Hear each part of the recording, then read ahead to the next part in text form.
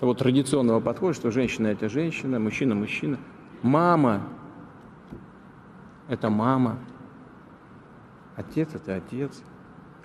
И надеюсь, что у нашего общества есть внутренняя моральная защита, продиктованная традиционными конфессиями Российской Федерации.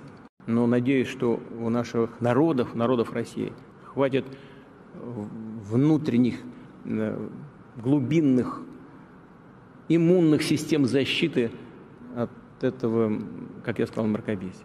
А, ну а, а бороться с этим нужно не прямыми указаниями и окриками и обвинениями, а поддержкой наших традиционных ценностей.